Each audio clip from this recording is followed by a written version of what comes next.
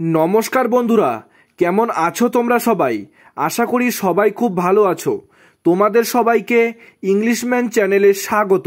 এই চ্যানেলে তোমরা স্কুল, কলেজ এবং ইউনিভার্সিটি সংক্রান্ত সমস্ত ধরনের আপডেট পেয়ে যাবে।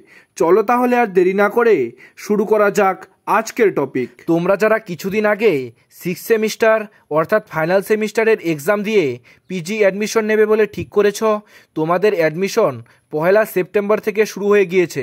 তোমরা যারা এখনও আবেদন করনি, তোমরা পনেরোই সেপ্টেম্বরের আগে পিজি অ্যাডমিশনের জন্য আবেদন করে নেবে। তোমরা যারা নর্থ বেঙ্গল ইউনিভার্সিটিতে অ্যাডমিশন নেবে বলে ঠিক করেছ, তোমাদের পিজি অ্যাডমিশনের জন্য কি কি ডকুমেন্টস লাগবে, এই বিষয় নিয়ে আজকের ভিডিওতে আমরা বিস্তারিত আলোচনা করব। তাই আজকের ভিডিওটি পিজি স্টুডেন্টের জন্য খুব গুরুত্বপূর্ণ একটি ভিডিও হতে চলেছে।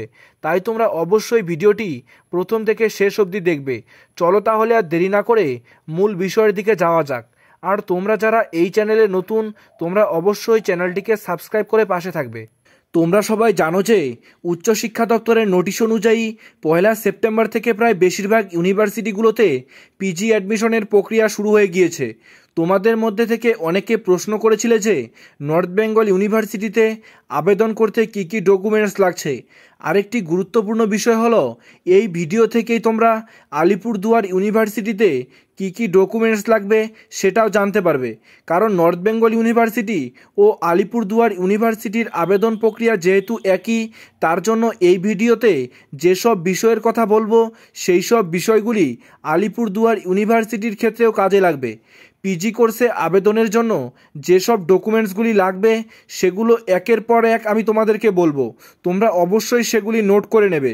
তোমাদের মাধ্যমিকের রেজাল্ট হাই সেকেন্ডারি রেজাল্ট এক কপি ফটো তোমাদের নিজেদের সাইন বয়সের প্রমাণপত্র হিসেবে, তোমাদের মাধ্যমিকের অ্যাডমিট কার্ড তোমাদের ইউজি কোর্সের রেজিস্ট্রেশন তোমাদের কাস্ট সার্টিফিকেট এবং তোমাদের ফাইনাল সেমিস্টারের রেজাল্ট যেটা তোমাদের পিডিএফ করে দিতে হবে। নর্থ বেঙ্গল ইউনিভার্সিটির রেজাল্ট যেহেতু এখনও দেওয়া হয়নি, তাই তোমরা তোমাদের অনলাইনে যে রেজাল্টটি দেখেছিলে, সেই রেজাল্টের স্ক্রিনশট বা সেটিকে ডাউনলোড করে পিডিএফ বানিয়ে নেবে। তাহলেই হয়ে যাবে।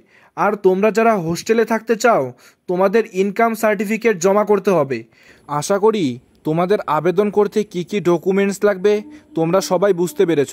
তোমরা এই আবেদন নিজেরাও করতে পারো, তবে সেক্ষেত্রে ভুল হওয়ার সম্ভাবনা থাকে। তাই তোমরা যে কোনো ক্যাফেতে গিয়ে ভালো করে দেখে আবেদন করে নেবে।